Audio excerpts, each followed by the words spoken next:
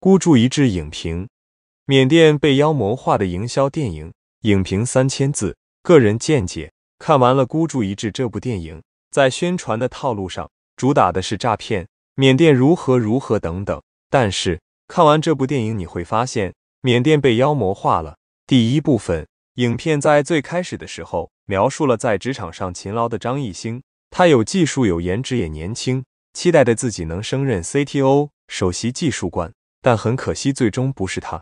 他一气之下摔了工作证离去，在离去之前还不忘黑入电脑进行恶搞。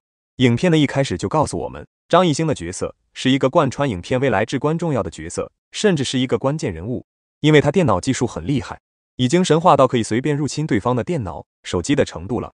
但是根据法律规定，这种随意黑人电脑属于不诚实使用电脑，所以影片一开始张艺兴就是违法行为了。不过电影在这里有一个非常棒的剪辑转场效果。就是张艺兴推门出去转场，衔接到在飞机上打开厕所门的这个完美的衔接了下一个故事的开始。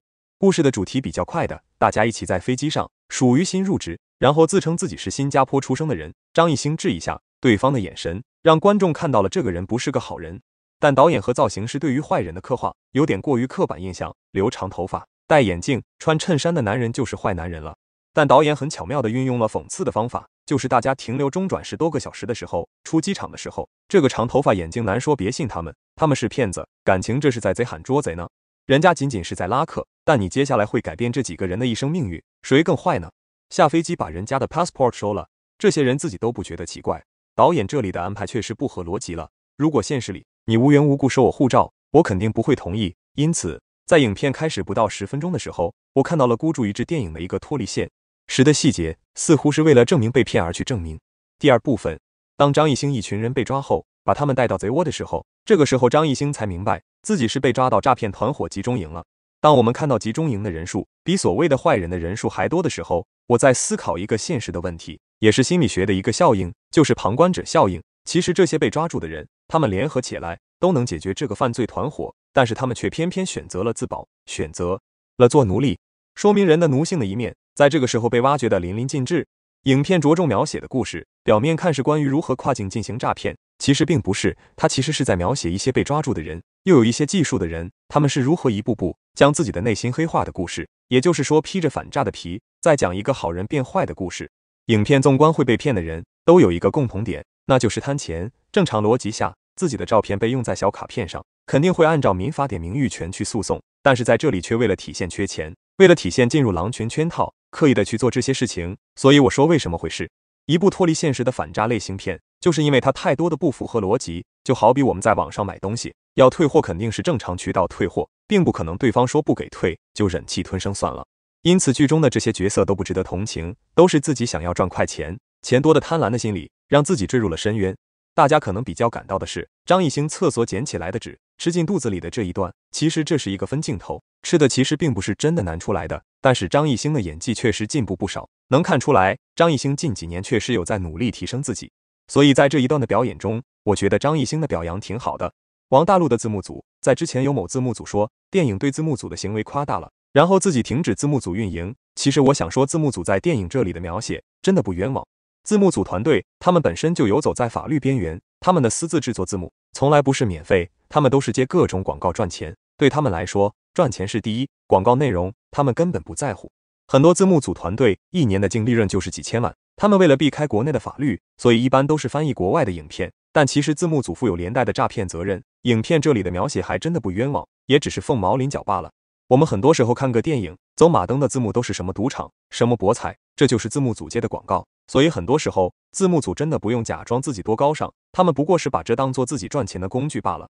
所以，影片里对于王大陆的这些描写，我是比较认同的，也觉得某些字幕组看了电影就说自己停止运营，除了是想趁这个时间赶紧撤离，避免以后被查，然后让一群不懂的人被带节奏外，他们仍然会换个身份继续搞字幕组，继续赚钱，继续昧着良心接广告。影片描述王大陆网上赌博陷入进去后，然后还是刚毕业的大学生，这意思是会被骗的都是大学生吗？我并不认同，但我觉得容易被骗的人都是贪的人。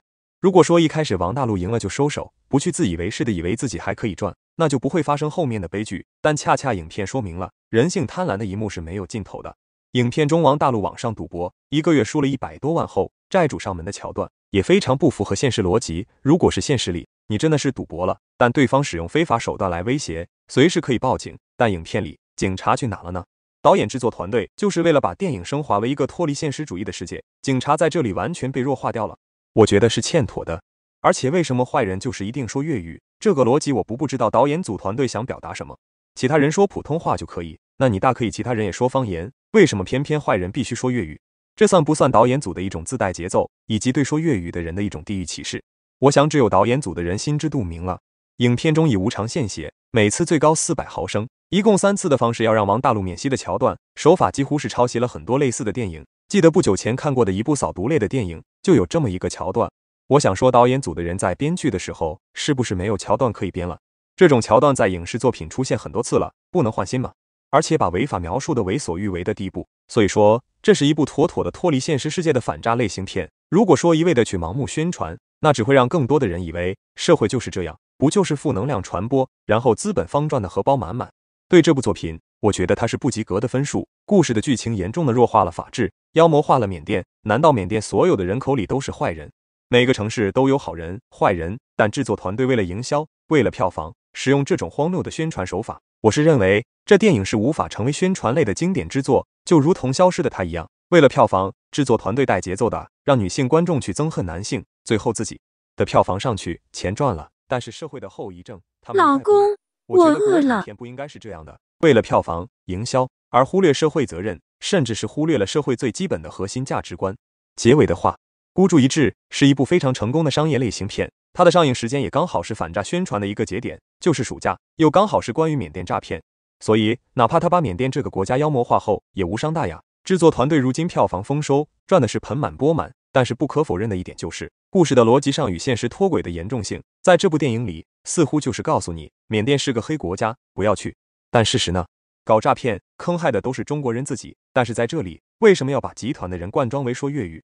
这是想说广东一带，还是说香港一带的诈骗犯更多？导演团队的这种带节奏的做法，营销的手法，唯一的目的就是想赚钱。所以这样的洗脑式诈骗电影营销，他们这次成功了。但是未来类似的题材的电影还会让观众买账吗？以电影的方式宣传反诈，本身是一件值得表扬的事情，但制作团队却用反诈的手段，利用电影圈钱，实属是欠妥。豆瓣的评分一直下降，也不是没有道理的。毕竟看过的观众都会发现，这部电影太能带节奏了，也太能抹黑缅甸了。你呢？抹干抹黑缅甸，怎么不说实话？在缅甸搞诈骗的人都是中国人自己呢。我们要宣传的反诈，应该是警示我们每一位中国人出国后，不要盲目的信任中国人。在国外，你宁可相信当地的外国人，也不能相信都是中国人说的话。但无论电影的节奏如何带偏，故事如何的脱离现实，我们不可否认的是，这部电影确实值得让不懂反诈的老年朋友，一些高学历以为自己有高智商，想要出国工作的中国人看看。在这个社会上，你可以信任的永远是你自己，应该。拥有自己独立的思维能力，不被带节奏，也不被套路，甚至不能因为一部电影就去肯定自己没有见过的国家，甚至是世界。一旦自以为看了一部电影就真的了解一个国家，那等同于坐井观天，一叶障目不见泰山。The end。微信号 gxdiary 二零二三，作者龚翔，图片龚翔，封面龚翔。